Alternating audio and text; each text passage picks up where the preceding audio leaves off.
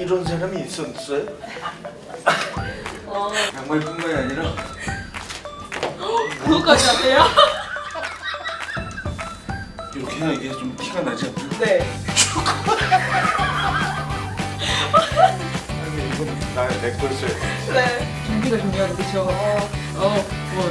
골 넣었어요. 예, 아, 정말 가문의 영광입니다. 제가 야구 시구는 몇 번 해봤는데 사실 축구 시축은 처음이어서 한 일주일 전부터 잠을 못 잤어요. 제가 그냥 시축을 좀 명받았다는 영상을 제가 카톡으로 보내드렸더니 예, 독수리 슛 부탁하겠다고 짧게 답이 왔어요. 시축 사상 최고의 최고 높이로다가 한번 오늘 차려고 준비 중입니다. 풀 장착을 하는 게 맞다고 생각하는 사람이거든요.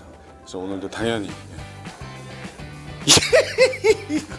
이건 아마 생각 못 하셨어요. 무릎 보호대까지. 축구화를 이렇게 끝매는 거 거기서 이제 제 성경석 TV가 시작됩니다. FC 서울의 승리를 위하여!